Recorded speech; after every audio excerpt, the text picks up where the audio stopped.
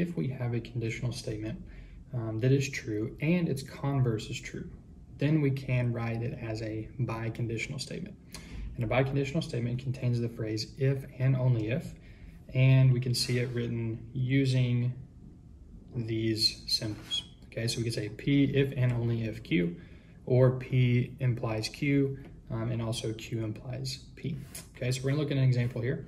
It says if two angles are complementary, then the sum of their measures of the angles is 90 degrees.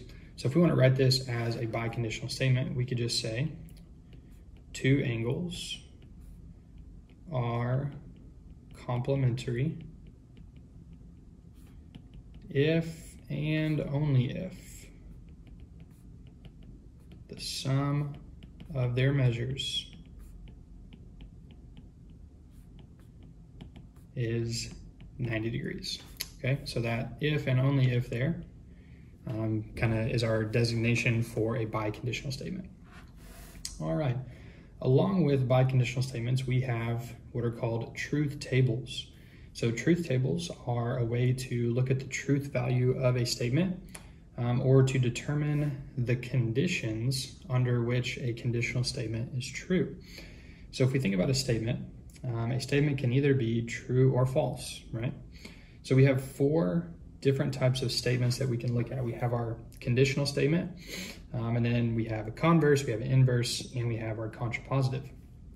So if we look down here at the bottom, tells us that a conditional statement um, is only false when a true hypothesis produces a false conclusion. That's the only time that our conditional statement will be false. So if we have true hypothesis, false conclusion, then we will say that the statement is false. So our conditional statement truth table is done for us, right? We see it right here. Um, so we have P and we have Q, right? P is our hypothesis, Q is our conclusion. And we think about the value of that statement, right? The, the hypothesis can either be true or false, and the conclusion can either be true or false. So that gives us four possibilities. We could have true, true, true, false, false, true, and false, false. So this conditional statement, let's walk through it and, and figure out why our last column is like we see it. So if we have a true hypothesis and a true conclusion, then the statement will be true. If we have a true hypothesis but a false conclusion, that's where it's going to lead us to a false statement. So that's why we have false there. If we have false then true, we will say that statement is true. And if we have two false, they will basically counteract each other and create a true statement. Okay, so now let's look at converse. We gotta remember what converse is. Converse is when we just switch Q and P. So we don't have to create an extra column in our truth table here. We can just look at the true and false letters, the, the values, backwards. Okay, so we're gonna look at the Q column first, and then we'll look at the, the P column. So we'll say if Q, then P, right? So for our first, we have this would still be true, true, right? So we're gonna say this is a true statement. Now we have, we're gonna read this now. Instead of true, false, we're gonna read the Q column first. So we're gonna say false, true, and that will give us a true statement. Now down here, the third one, we're gonna read as true, false, and there's our true hypothesis, but our false conclusion, so that will render us a false statement. And the last one is still false, false, so we'll call that true, okay? All right, so let's look at inverse. Inverse now is where we negate the hypothesis and conclusion. We don't switch the order, but we negate them, right? So if P was true, not P would be false. This would also be false. This would be true, and this would be true.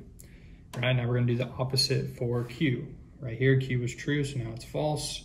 Q is false, so now it's true. True to false, and false to true. And now we evaluate not Q to not P. Excuse me, not P to not Q. So this is, I'll kind of show us where we're at here. We're going to start here. We're to go false, false. So this will be a true statement. False, true. So this will be a true statement. And true, false. So here's where um, our false statement comes in, right? True hypothesis, but false conclusion.